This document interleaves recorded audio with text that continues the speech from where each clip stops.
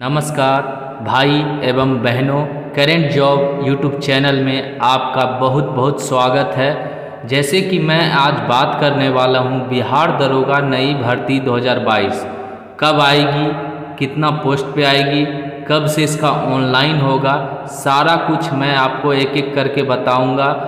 आपसे अनुरोध है कि आप वीडियो को लास्ट तक ज़रूर देखें और हमारे चैनल पे आप नए हैं तो प्लीज़ चैनल को सब्सक्राइब कर ले और बेल आइकन ज़रूर दबा ले। चलिए बात करते हैं कितना पोस्ट पे आएगी। जैसे कि आप देख पा रहे होंगे, बिहार अवर निरीक्षक, यानी एसआई। एसआई का जो अभी बल संख्या है, वो आप लोग देख पा रहे होंगे, सत्रह हज़ार तीन सौ सत्रह पूरा जो दरोगा का संख्या है, वो सत्रह हज़ार तीन सौ सत्रह है। अब कितना रिक्त पद है?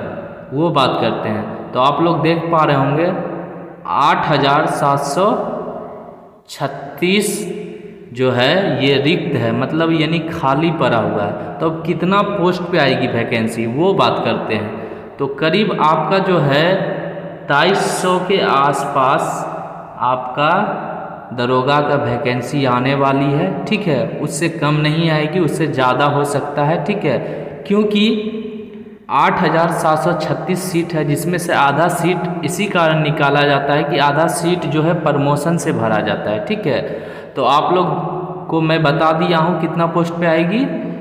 तेईस पोस्ट पे आपका वैकेंसी आएगी तेईस पद रहेगा आपका। और अब बात करते हैं कि कब तक ये वैकेंसी आने वाली है, ठीक है?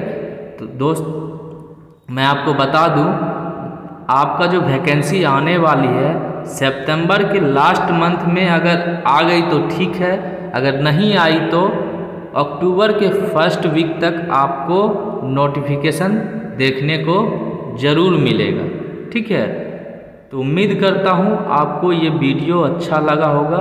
अगर अच्छा लगा तो प्लीज़ लाइक कमेंट ज़रूर करें और हमारे चैनल को सब्सक्राइब ज़रूर कर लें और दोस्तों को शेयर करना ना भूलें। चलिए दोस्तों मिलते हैं नेक्स्ट वीडियो में अपडेट के